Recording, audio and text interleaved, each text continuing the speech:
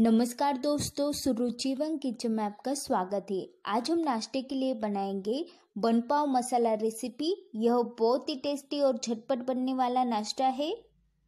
अगर आप मेरे चैनल पर नए हैं तो प्लीज़ मेरे चैनल को सब्सक्राइब कीजिए लाइक कीजिए शेयर कीजिए और हमें कमेंट कीजिए। तो चलिए बनाते हैं बन पाव मसाला। बन पाव मसाला बनाने के लिए हम लेंगे बन पाव कटा हुआ टोमेटो लेंगे, एक कटोरी। कटा हुआ पैच लेंगे एक कटोरी। चार पाँच लहसुन की कलियों को मैंने क्रश कर लिया है। क्रश की हुई हरी मिर्च लेंगे। जीरा, ड्राई, लाल मिर्च पाउडर, हल्दी पाउडर, हरा धनिया का पाउडर, हींग पाव भाजी मसाला, नमक।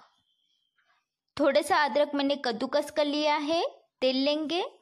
बनपाव मसाला के लिए सबसे पहले मसाला बना लेते हैं। मैंने एक कड़े में दो चम्मच तेल को गर्म होने के लिए रख दिया था। तेल गर्म हो चुका है। इसमें डाल देते हैं चौथे एक चम्मच राई, चौथे एक चम्मच जीरा, हिंग डाल देते हैं थोड़ा सा अभी इसमें ऐड करेंगे कटा हुआ प्याज एक कटोरी। इसे अच्छे से मिक्स करके लेंगे और इसे हल्का सा ब्राउन कलर आने तक भून के लेंगे। तीन चार मिनट बाद इसका हल्का सा कलर चेंज हो चुका है। अभी हम इसमें ऐड करेंगे क्रश किया लहसन, कद्दूकस किया अदरक क्रश की हुई हरी मिर्च डाल देंगे दो चम्मच। आप अपने स्वाद के अनुसार ऐड कीजिए और इसे अच्छे से मिक्स करके लीजिए। अभी इसमें ऐड कर देते हैं घर पे बनाया हुआ हरा धनिया का पाउडर। इसका वीडियो मैंने अपने चैनल पे डाला है, आप उसे भी देख सकते हो। इसे अच्छे से मिक्स कर लेते हैं और यहाँ पे मैंने एक चम्मच हरा धनिया का पाउडर ऐड किया है। अभी हम इसमें ऐड करेंगे कटा हुआ टोमेटो एक कटोरी।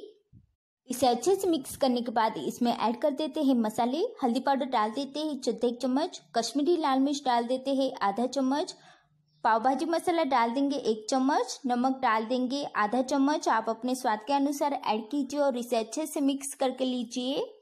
यहाँ पे सभी चीज़ों को थोड़ा सा पकने देते हैं और चम्मच को ऐसे चलाते रहेंगे।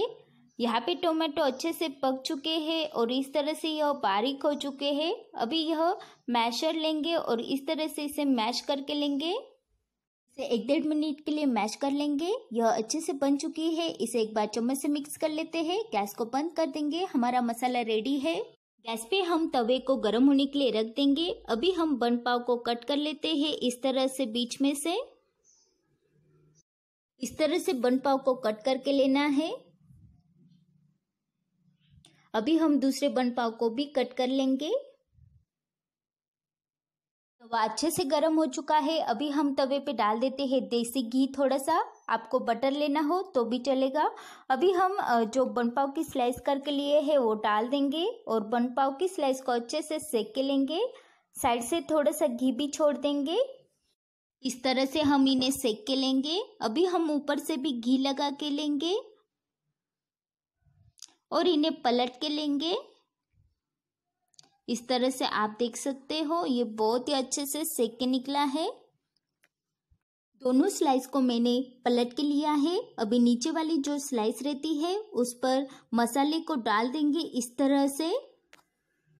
मसाले को अच्छे से डालने के बाद अभी जो ऊपर की स्लाइस रहती है, वो इसके ऊपर रख देते हैं और इसे हल्के हाथों से इसे प्रेस करेंगे चाकू की मदद से। यहाँ पे यह अच्छे से सेक के निकला है। यहाँ पे तैयार है हमारा बन पाव मसाला। इसे प्लेट में निकाल के लेते हैं। यह बहुत ही अच्छे से बना है, आप देख सकते हो। और एक बन पाव मसाला बना लेते हैं। यहाँ पे मैंने दो स्लाइस तवे पे डाल दिए हैं। उन्हें घी लगाकर इसे अच्छे से सेक के लेंगे। इसे अच्छे से सेकने के बाद अभी हम इसमें फिल करेंगे मसाला। हमने यहाँ पे कश्मीरी लाल मिर्च डाली थी, जिससे कि बहुत ही अच्छा कलर आया है। अभी दूसरी स्लाइस भी रख देते हैं इसके ऊपर। तैयार है हमारा बन पाव मसाला इसे भी प्लेट में निकाल लेते हैं। यहाँ पे तैयार है हमारा बन पाव मसाला अभी हम इसे सर्व कर लेते हैं।